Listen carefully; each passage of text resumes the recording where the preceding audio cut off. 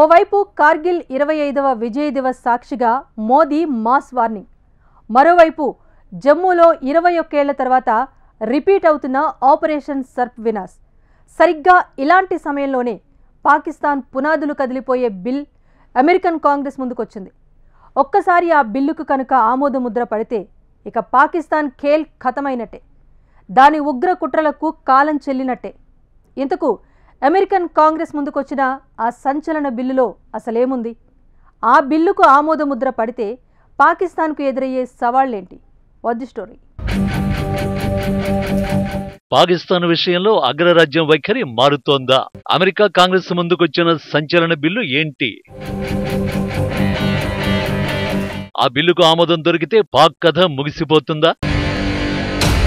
భారత్కు అన్ని దేశాలతో స్నేహం కావాలి. శత్రువుతో సైతం స్నేహాన్ని కాంక్షిస్తుంది. అది భారత గొప్పతనం. కానీ దురదృష్టవశాత్తు పాకిస్తాన్ భారత్తో స్నేహహస్తం అందుకోవడానికి ప్రయత్నిస్తున్నట్టు అంతర్జాతీయ వేదికలపై చెబుతూ తెర వెనుక కయ్యానికి కాలు దువ్వుతూ ఉంటుంది. పాకిస్తాన్ వైఖరి అమెరికాకి అర్థం కాదేమో అనుకోవడానికి లేదు. ఎందుకంటే ఆ దేశానికి అమెరికా పూర్తి అండదండలున్నాయి ఆ అండదండలు చూసుకుని పాకిస్తాన్ వీలు చిక్కినప్పుడల్లా భారత్ పైకి ఏదో ఒక రూపంలో దూసుకొస్తూ ఉంటుంది. అది ఉగ్రవాదం ద్వారా కావచ్చు లేదంటే సరిహద్దులో ఉద్రిక్తతల్ని పెంచడం ద్వారా కావచ్చు. పాకిస్తాన్కి ఆయుధ సంపత్తి విషయంలో అమెరికా సహకారం గురించి ఎంత చెప్పుకున్నా తక్కువే. నిజానికి అమెరికాతో బద్ధ వైరం ఉన్న దేశాల్లో చైనా ప్రముఖమైనది. విచిత్రంగా పాకిస్తాన్కి ఇటు అమెరికా నుంచి అటు చైనా నుంచి ఆయుధ సంపత్తి విషయంలోనూ ఇతర విషయాల్లోనూ సంపూర్ణ సహకారాలు ఉంటాయి. అదే భారత్ రష్యాతో సన్నిహిత సంబంధాలు నడిపితే మాత్రం అమెరికాకి గిట్టదు. ఆ కారణంగానే భారత్ అమెరికా నుంచి అనేక విషయాల్లో ఆంక్షల్ని ఎదుర్కొంటూ వచ్చింది.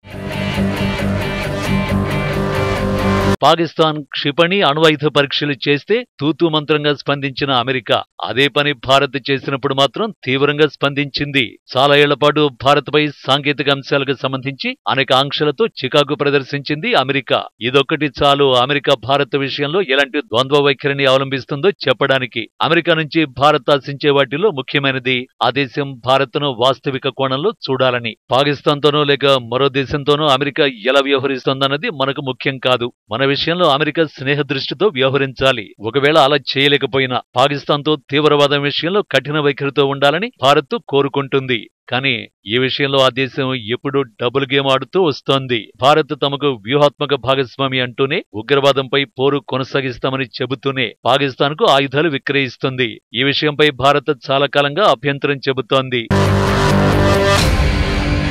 వాస్తవానికి తీవ్రవాదం ప్రపంచాన్ని వణికిస్తోన్న అతి భయంకరమైన వైరస్. దాని నుంచి తప్పించుకోవడం అగ్రరాజ్యం వల్ల కూడా కావడం లేదు. అల్ ఖైదా దెబ్బకు అమెరికా విలవెల్లాడిన రోజుల్ని ఎవరు మాత్రం మర్చిపోగలరు. అమెరికా చరిత్రలో అదో భయంకరమైన ఉగ్ర దాడి. దాన్ని అమెరికా మర్చిపోతుందని అనుకోలేం. కానీ ప్రపంచాన్ని వణికిస్తున్న తీవ్రవాదంపై అమెరికా అన్ని సందర్భాల్లోనూ ఒకేలా వ్యవహరించడం లేదు అన్నది నిర్వివాదాంశం. అల్ ఖైదా వేటలో భాగంగా అమెరికా భద్రతా దళాలు పాకిస్తాన్లోనూ దాడులు చేసిన సందర్భాలు ఉన్నాయి. అదే భారత్ పైకి పాకిస్తాన్ పాకిస్తాన్ ఉసిగొలుపుతున్న తీవ్రవాదుల విషయంలో మాత్రం అమెరికా తగు రీతిలో స్పందించడం లేదు.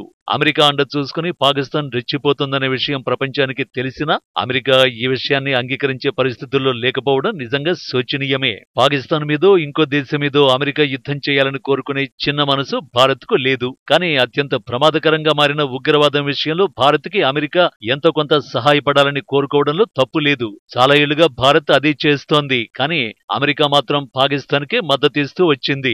ఎట్టకేలకు ఈ పరిస్థితిలో మార్పు వచ్చినట్టు కనిపిస్తోంది. అందుకు కారణం అమెరికన్ కాంగ్రెస్ ముందుకు వచ్చిన ఓ సంచలన bill.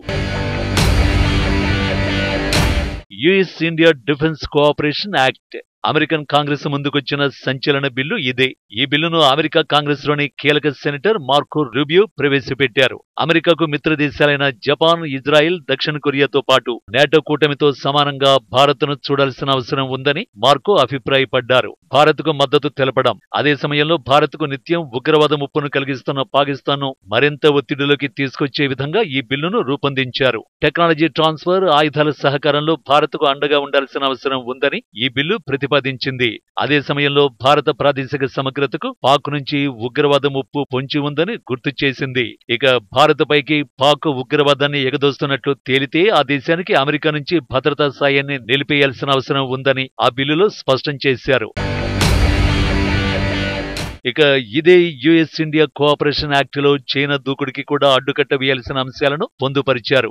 ఇండో పసిఫిక్ ప్రాంతంలో చైనా అనుసరిస్తున్న దురాక్రమణ పూరిత వైఖరిని గుర్తు చేశారు. ఇండో పెసిఫిక్ ప్రాంతంలో అమెరికా మిత్రదేశాల సార్వభౌమత్వానికి చైనా నిత్యం సవాలు విసురుతోందని తీవ్ర ఆందోళన వ్యక్తం చేశారు.